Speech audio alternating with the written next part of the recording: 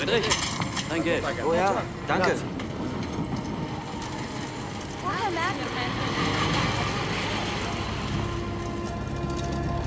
Mensch, Friedrich, pass doch auf!